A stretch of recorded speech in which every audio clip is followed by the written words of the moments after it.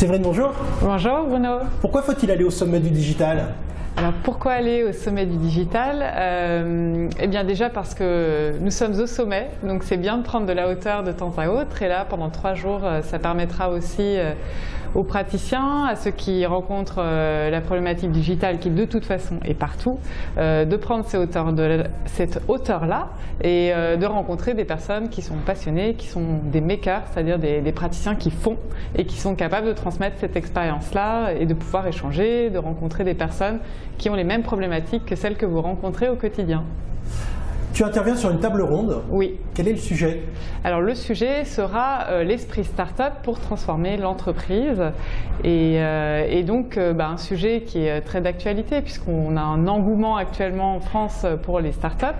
Et, finalement, bah, c'est comment on peut transposer certaines pratiques et, et, surtout cet état d'esprit start-up dans l'entreprise pour l'amener à avoir plus de fluidité, plus d'agilité, plus d'innovation, plus de créativité et puis surtout utiliser digital euh, vraiment euh, à 360 dans la culture de l'entreprise.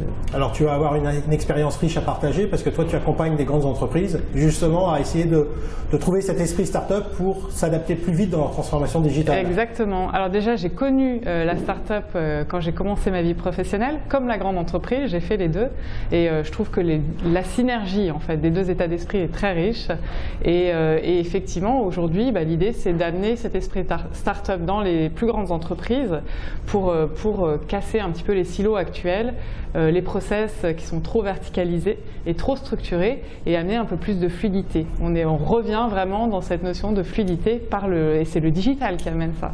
C'est le flux d'informations et de contenu. On se retrouve donc à Val d'Isère pour en parler. Tout à fait, avec plaisir. Merci.